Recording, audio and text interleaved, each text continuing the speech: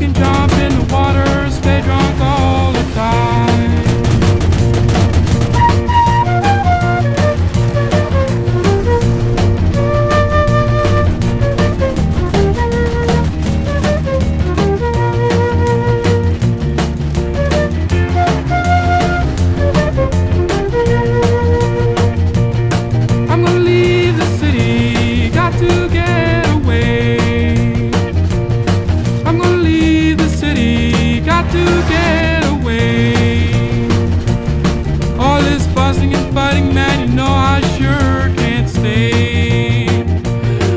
baby back and leaving truck. You know we've got to leave today.